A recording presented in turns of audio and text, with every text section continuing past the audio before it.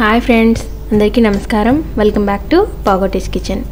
ఈరోజు మనం నేర్చుకోబోయే రెసిపీ ఏంటంటే పూరి అండి. ఈ పూరిని చేసేటప్పుడు చాలామంది మైదాతో చేస్తారు. లేదంటే అందులో బేకింగ్ పౌడర్ కానీ బేకింగ్ సోడా కానీ ఇలాంటివన్నీ యూస్ చేసి చేస్తుంటారు. కానీ ఇక్కడ అలాంటివి ఏమి యూస్ చేయకుండా పూరీలు గోధుమ పిండితో చాలా మెత్తగా క్రిస్పీగా బాగా పొంగే విధంగా ఎలా చేయాలో ఈరోజు మీకు నేను చూపిస్తానండి.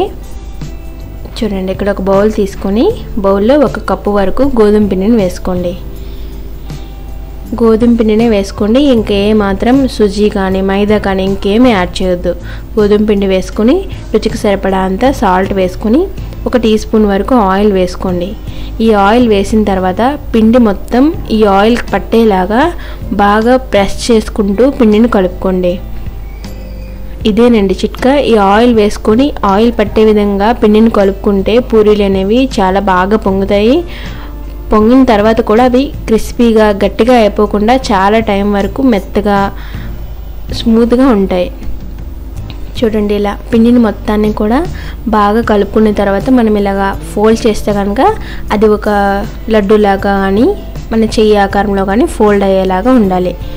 అలా అయిన తర్వాత పిండిలో కొద్ది కొద్దిగా వాటర్ పోసుకుంటూ కొంచెం సాఫ్ట్గా అంటే మనం చపాతీ చేసుకునే పిండి కంటే ఇంకొద్దిగా సాఫ్ట్గా ఉండేలాగా ఈ పిండిని వాటర్ వేసుకొని బాగా కలిపేసుకోండి. చూడండి ఇలా మొత్తము ఒక ముద్దలాగా తయారైన తర్వాత ఒక రెండు మూడు నిమిషాల పాటు దీన్ని ఇలాగ ప్రెస్ చేసుకుంటూ బాగా కలుపుకోవాలి.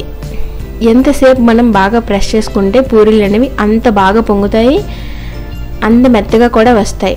చూడండి ఇలా మూడు నిమిషాలు రెండు నిమిషాలు బాగా కలుపుకున్న తర్వాత ఒక హాఫ్ టీ స్పూన్ వరకు ఆయిల్ వేసుకొని ఈ పిండి ముద్ద అంతటినీ కూడా ఆయిల్ కవర్ అయ్యేలాగా అప్లై చేసుకొని ఒక అరగంట కానీ ఒక పావు గంట కానీ మూత పెట్టుకొని అలాగే పక్కన ఉంచేయండి అప్పుడు పిండి బాగా నానుతుంది ఇంకా పూరీలు అనేవి బాగా వస్తాయి.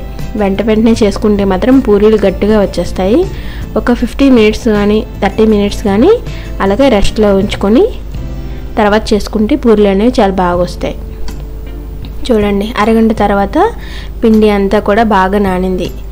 ఇప్పుడు దీన్ని మరొక నిమిషం పాటు ఇలాగా ప్రెస్ చేసుకుంటూ పిండి మొత్తాన్ని బాగా కలుపుకోండి.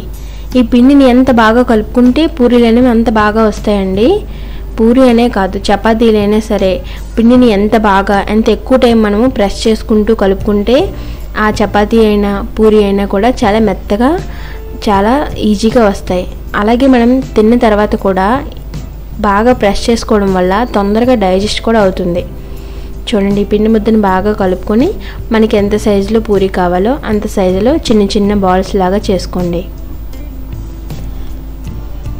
ఇక నేను చేసుకునే ఈ వన్ కప్పు గోధుమ పిండి అనేది ముగ్గురికి టిఫిన్కి సరిపోతుందండి.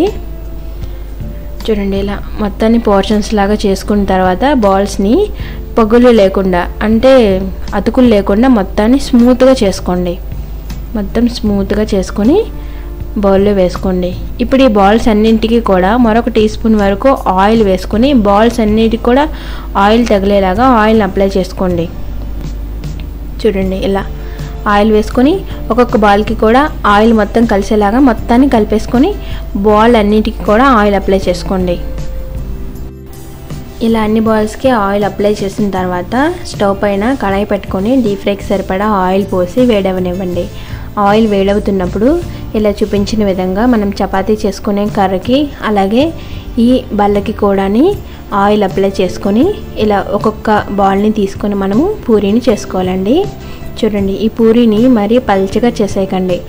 కొంచెం లావుగా చేసుకున్నా కూడా పర్వాలేదు కానీ పల్చగా మాత్రం చేసుకోవద్దు. పల్చగా చేసుకుంటే అది ఫ్రై అయినప్పుడు వాటికి చిన్న చిన్న హోల్స్ అయిపోయి అది పొంగకుండా అయిపోతుంది. చూడండి ఈ మాత్రం మందంగా చేసుకొని మనము స్టవ్ పై పెట్టిన ఆయిల్ బాగా వేడైన తర్వాత ఈ పూరిని వేసుకోండి.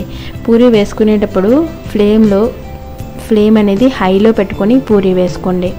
ఆయిల్ అనేది ఎంత వేడిగా ఉంటే పూరి అనేది అంత బాగా అంత తొందరగా పొంగుతుంది. చూడండి. ఎంత బాగా ఎంత తొందరగా అయిపోయింది. విత్ ఇన్ సెకండ్స్లో పూరి అనేది పొంగిపోతుంది. ఒకవేళ పూరి అనేది పొంగకపోతే మీరు గరిటతో ఆ పూరిని ఇలా ఇలా మెల్లమెల్లగా ప్రెస్ చేస్తూ ఉంటే పూరి అనేది పొంగిపోతుంది. చూడండి ఇలా. అన్ని పూరీలు రెడీ అయిపోయాయి. చూడండి.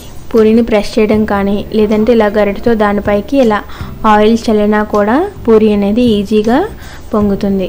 చూసారు కదండి ఎంత టేస్టీ అయినా పూరీ రెసిపీని ఎంత ఈజీగా మైదా లేకుండా చేసుకోగలము. మరి ఈ టేస్టీ పూరీ రెసిపీ కనుక మీకు నచ్చితే మా వీడియోని తప్పకుండా లైక్ చేయండి. మీరు కూడా సేమ్ ఇలాగే ఈ పూరీ రెసిపీని ట్రై చేసి మీకు ఎలా వచ్చిందో లేకపోతే ఇంకెలా వచ్చిందో మాకు కామెంట్ చేసి తెలియచేయండి.